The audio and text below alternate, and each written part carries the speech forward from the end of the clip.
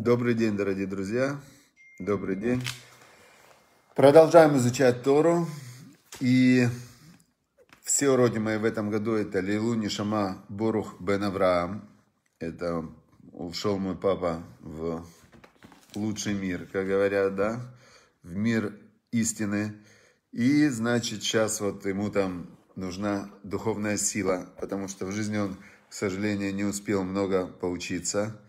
И вот если рассмотреть жизнь с этой точки зрения, то человек э, тратит себя, ну, все время он на чем-то думает, да, как улучшить свою жизнь, как улучшить свои отношения, как улучшить свое здоровье, как э, вкуснее покушать, как э, больше поспать. Очень много занимается политикой. Сейчас вот, например, обсуждают, интересно, что, как, где, как будет и так далее. И так проходит его жизнь. То есть из третью часть жизни 8 часов ночью спишь, 16 э, часов в день остается, да, это занимаешься какими-то делами. И э, каждый выделяет на духовное для своей души, как бы, э, выполнение заповеди изучения Торы, это как усиление своей души, одежда для души, можно так назвать. Заповеди Торы – это одежда для души.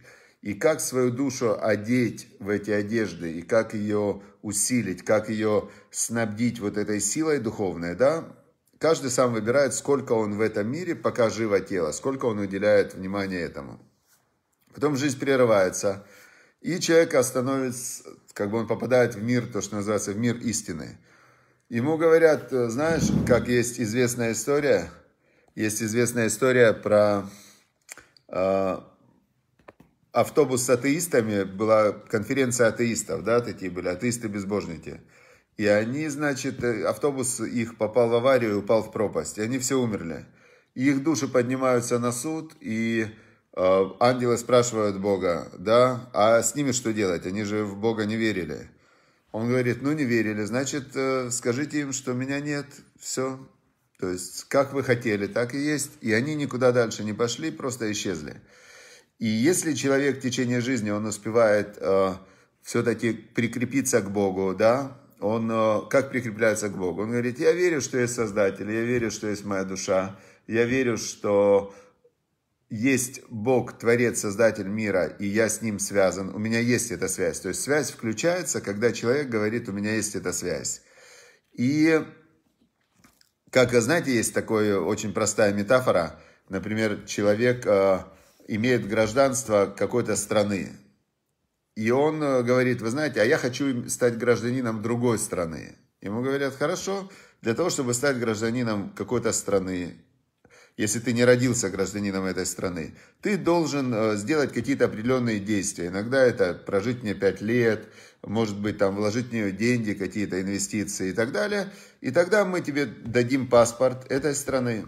Он говорит, отлично, я очень хочу. А другой человек, он скажет, а вы знаете, у меня есть уже три паспорта, ну, я вот как отказываются люди от американского гражданства, да, этот отказался недавно, Тиньков, Тиньков, он отказался, он говорит, я не хочу больше быть гражданином Америки, все, я отказываюсь, и он отказался. Точно так же связь со Всевышним. Человек может сказать, я хочу, я хочу э, соединиться со Всевышним, как получить паспорт в духовный мир, да, Хочу, то есть это получается только через соединение с Богом. Или он может сказать, я отказываюсь. Есть люди, которые, не дай Бог, да, они были верующими, соблюдающими, и потом они сказали, нет, вот теперь я хочу быть обезьяной. Все, отныне я обезьяна, говорит такой человек. Его выбор, свобода выбора. Хорошо, так поэтому э, те люди, которые, которые выбрали Всевышнего уже в зрелом возрасте, да, называются те люди, которые вот э, есть даже такой специальный термин в еврейском законе, что те евреи, которые, те евреи, которые, э, которые в, воспитывали в Советском Союзе, они называются, у них статус э, украденные дети, как Маугли, да, по-простому Маугли. То есть их воспитывала какая-то идеология, и это как волки, там ребенка украли. Все, значит, они его воспитывают как волка. Вот, поэтому Лилу Нишама Борух Бен Авраам, то есть, чтобы вот та Тора, которую мы изучали, чтобы она подняла, подняла его душу. Хорошо. Теперь, значит, сегодня нам Любавичский Рэбе дает очень в книге «Обретение неба на земле» дает нам очень хороший, простой совет, как стать, э, как в, вот в этой жизни, да, в вот такой материальной, э, сложной, в, в материальной сложной жизни, каким образом, каким образом в материальной сложной жизни –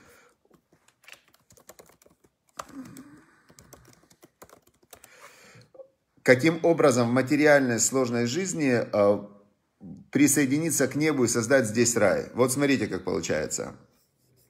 Значит, э, говорит Любавич Стировый так, мир непредсказуем. Ну, понятно. Понятно, сейчас это стало всем понятно, особенно после книги «Черный лебедь» э, Нисима Талиба, который с экономической и философской точки зрения доказал, что все статистические расчеты и предположения социологические и так далее, что все это просто ну, для успокоения. То есть жизнью управляет непредсказуемость. Но Рэбе это сказал давным-давно, он сказал, мир непредсказуем. Детерминизм, учение о закономерности и причины обусловленности всех событий и явлений есть не что иное, как искусственный пережиток 19 века. Значит, в 19 веке было и в психологии, например, были такие, 20 это век, начало, середина, бихевиористы они назывались, направления. То есть они э, утверждают, что все в этом, в этом мире механика такая, обусловленность, причинно-следственные связи и детерминизм, что все предопределено. Но, говорит Рэбе нам, все, что мы можем сказать, существуют некоторые не слишком строгие правила, по которым Бог обычно играет. Так он сформулировал общую глобальную систему мироздания. Просто и понятно. То есть, если я понимаю, что есть Создатель мира – который э, создал этот мир по правилам, но он же э, играет и взаимодействует индивидуально с каждым. Личное проведение, да, есть индивидуальное проведение, есть общественное проведение, да, мы знаем историю, что каждая страна, каждый народ накапливает количество грехов, заповедей, есть такой командный зачет, да, вот есть метафора командного зачета, Олимпиады, да, доброе утро, Раиса Васильевна, метафора командного зачета – это Олимпиады. Вот собираются там одна страна, другая страна, и все сидят и как-то вот болеют за свои страны. Да, чего вы болеете за свои страны? Ну, какая вам разница? Там хоккеисты какие-то или лыжники. Они же все это индивидуальные люди. Они, э, каждый э, тренируется, решает свои вопросы. Но вот есть у людей какая-то внутренняя связь с со своей страной, со своими спортсменами, которые представляют эту страну, с флагом страны, с гимном страны, с народом страны, да. То есть эти связи внутренние, они есть. И э, вот бывает, что в духовном плане э, грехи какие-то, да, народа или или наоборот заповеди глобальные народа, они дают э, благополучие этой стране или исчезновение. Мы знаем, что очень много стран, империй, которые были идолопоклонники, империи, которые шли против Всевышнего, они исчезали на наших глазах. На наших глазах исчезла империя, которую называли, другие люди называли ее империя зла, Советский Союз. Это была антибожественная государства. Я вам скажу, что вот сейчас мы видим, сколько еще осталось таких э, антирелигиозных государств, которые отрицают Бога. Северная Корея, Китай, может быть, да, я не знаю, какая у них идеология там в Китае.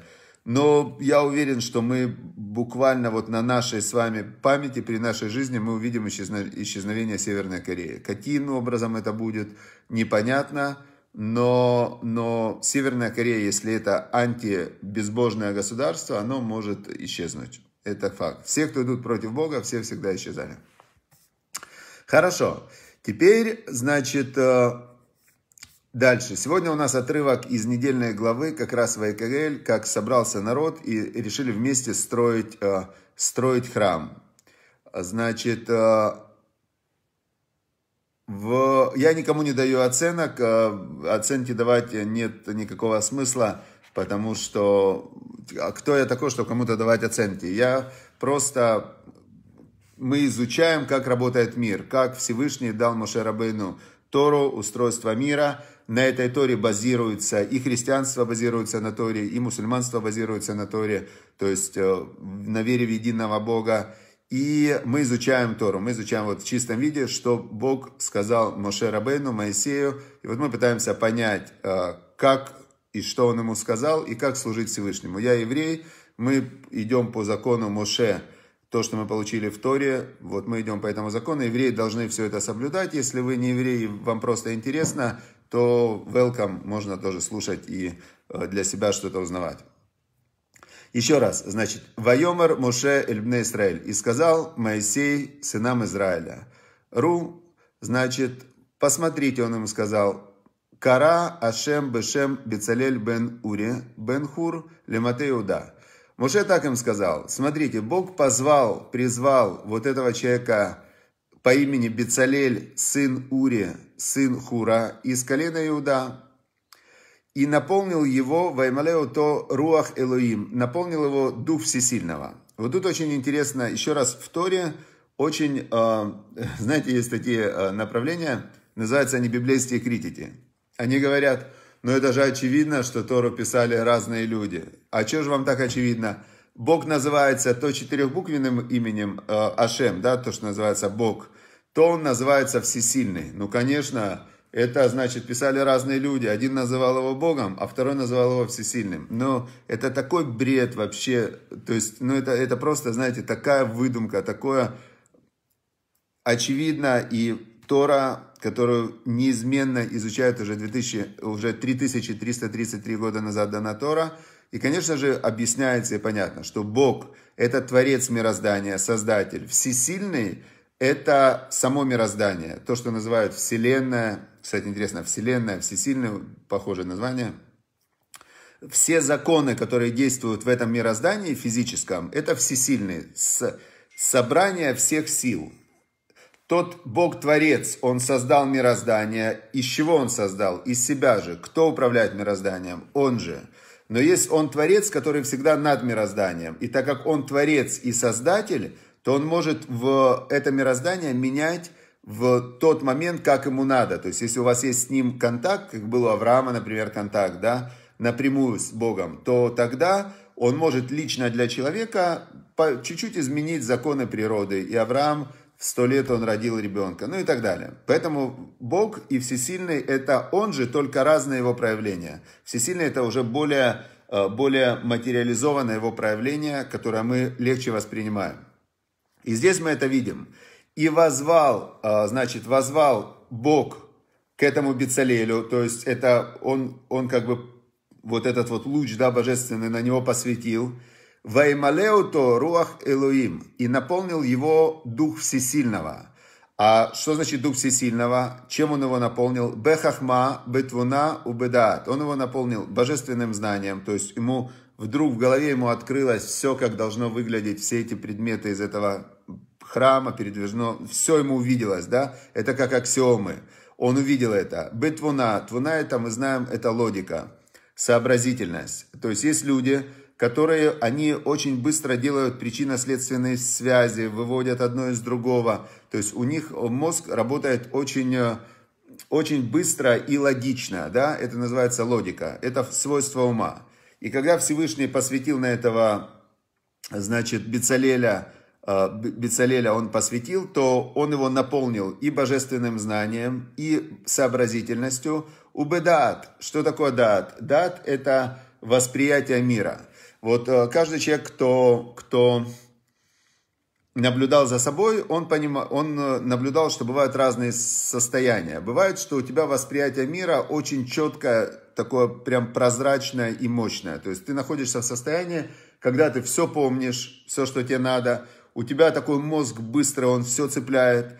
А бывает, что такой момент, когда на иврите есть хорошее слово «мибульбаль». Мибульбаль это когда у тебя все вот этими бульбуль в голове, да, такое, что ты не, что-то ты не вспоминаешь, у тебя, э, вот особенно когда люди в стрессе там или не выспались, у них нет такого чистого восприятия.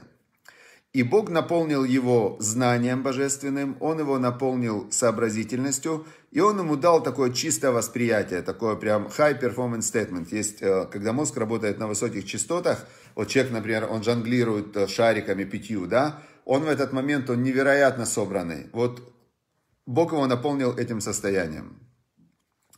И, значит, убыколь млаха, и наполнил его всеми навыками. То есть, знаете, как есть станки с числовым программным управлением, есть станок, как сейчас эти есть э, принтеры, которые 3D, которые печатают разные штуки. Так он его сразу наполнил его тело, он умел и машину водить, и там писать, и отверткой работать, и танго танцевать. То есть он его наполнил всеми, э, как запрограммировал тело, да, всеми э, видами млоход, всяким умением, которое необходимо ему для, э, для строительства этого передвижного храма. Хорошо. И, значит, он его наполнил, 32 отрывок, «Веляхшов махшевот лясот базаав бакесову банхошет». И он его наполнил еще навыками, как работать с золотом, серебром и с медью. То есть э, в наше время мы не умеем э, пока э, программировать людей на быстрое приобретение каких-то навыков, да. То есть человеку для того, чтобы научиться что-то делать, ему нужно много раз повторить, ему должны показать, он должен понять, потом он повторяет движение, повторяет, повторяет. И, например, после 30 уроков вождения у него навык вождения автомобиля запрограммировался в его теле. Но Всевышний запрограммировал в Бицалеля Бенхура, он его, Бен Ури Бенхура, он его запрограммировал, запрограммировал, в него внес все навыки, необходимые для, для строительства передвижного храма. Э, и дальше идут какие навыки. И он его научился, и резьба по камню, резьба по дереву, всякие работы искусные он научил. Действительно, есть э, мастера, которые умеют что-то делать, есть люди, которые не умеют. Чтобы стать мастером, кому-то надо учиться долго, кто-то схватывает с первого раза. Но обычно, чтобы человеку достигнуть мастерства, нужно 10 тысяч часов. Но для Всевышнего он мог сжать 10 тысяч часов мастерства в 5 минут и запрограммировал его на строительство. И, э, и интересно, вот тут очень классно, 34 отрывок, я вот только сейчас обратил на это внимание, раньше не обращал. Улеарот Натан Белибо.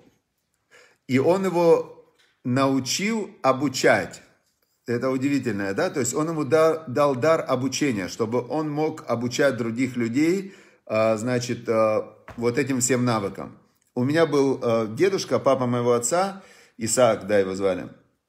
Он, значит, он был на обувной фабрике, начальник учебного центра. То есть он обучал людей профессии э, обувная фабрика, они делали там обувь, да. И навык обучать это, это отдельный навык, который я считаю, что он один из самых важных и наиболее ценных навыков, потому что именно все, что мы сегодня умеем, благодаря тем людям, которые нас когда-то обучали.